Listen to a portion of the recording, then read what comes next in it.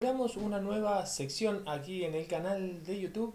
Soy Gustavo Parodi desde Argentina para el mundo y esta vez vamos a hablar de eh, un documental, un documental que me llamó poderosamente la atención, que es el de Guillermo Pérez Roldán. Vamos a ver la introducción y enseguida les cuento un poquito mi impresión al respecto.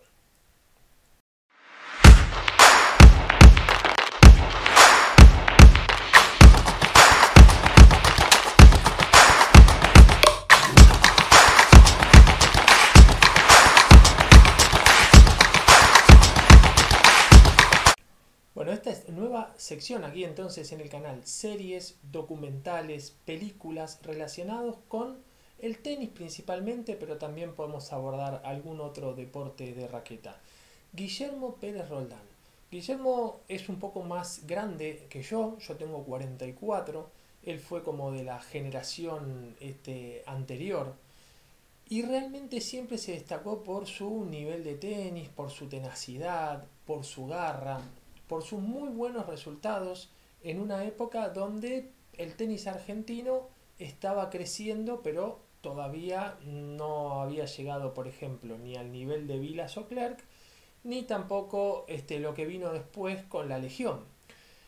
Pero si bien era un poco Vox Populi la intensidad en el entrenamiento del padre de Guillermo, Raúl, para con su hijo y para con su hija Mariana, el documental y contado en boca principalmente del protagonista, del propio protagonista Guillermo, es realmente escalofriante y de alguna manera hace pensar un montón cómo es la relación de los padres, de los padres entrenadores, de los entrenadores para con los chicos.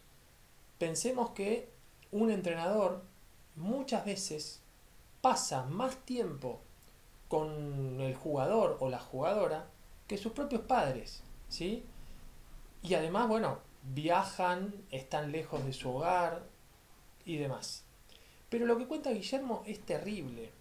Los golpes, el maltrato, no solo psicológico, sino físico.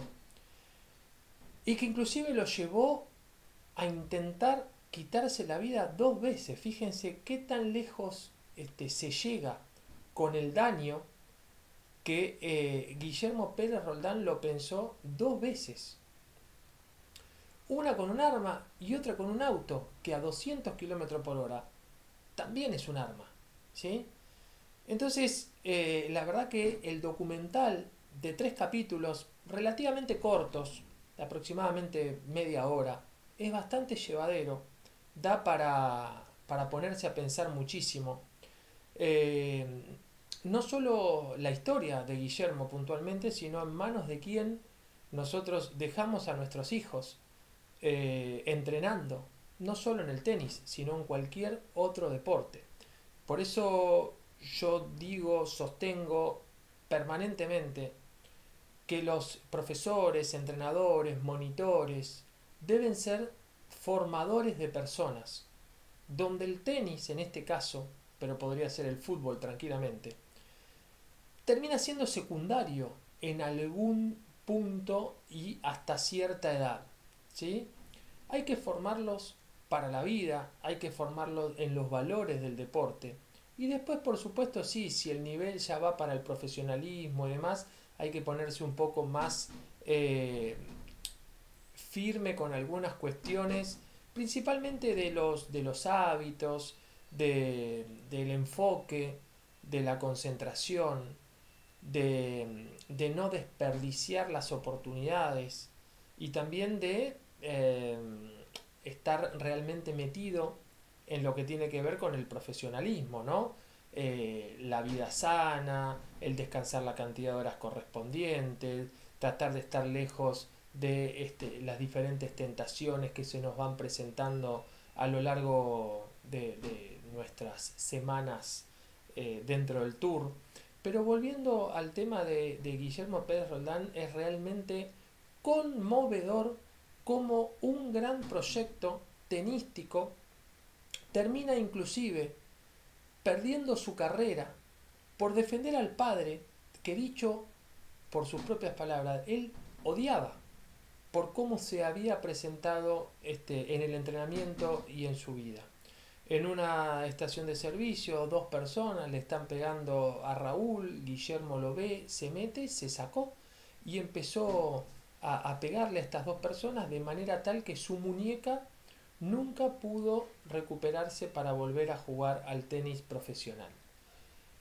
Y como si fuese poco todo esto, eh, después Guillermo termina descubriendo que el padre inclusive se había quedado con su dinero ganado en buena ley y por su trabajo tenístico desde muy joven. Es decir, que todo su sacrificio, lo que se bancó, el esfuerzo, inclusive el maltrato, eh, le sirvió para, para muy poco para el día después. Les recomiendo que lo vean, la pueden encontrar en Star Plus. Y realmente da para pensar un montón de cuestiones, donde Guillermo habla en primera persona, donde Raúl habla en primera persona y también hay algunos testimonios como, por ejemplo, creo que se destaca el de Mariano Zabaleta.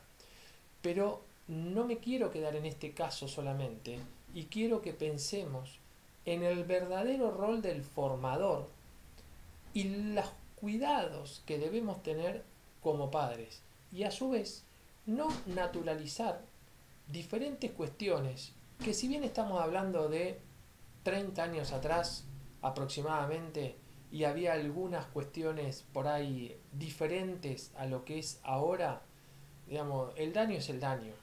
La palabra mal ejercida es una palabra que hace mucho daño. Un, un golpe hace daño y, principalmente este, dominarte mentalmente hace mucho daño. Así que pensemos eh, en esto, ¿no? En el futuro de los chicos, en formar como entrenadores y vean este documental que realmente a mí me conmocionó muchísimo eh, y ojalá que esto sirva para, para que no haya casos a futuro. Los dejo entonces aquí en el canal. Recuerden suscribirse al canal si les gustan los este, videos que estamos subiendo con diferentes tipos de contenido. Eh, soy Gustavo Parodi desde Argentina. Aquí también pueden apretar la campanita para que les lleguen las notificaciones a este canal de tenis, entrevistas, consejos, actualidad y ahora les sumamos esta sección de series, películas, documentales. Nos vemos la próxima.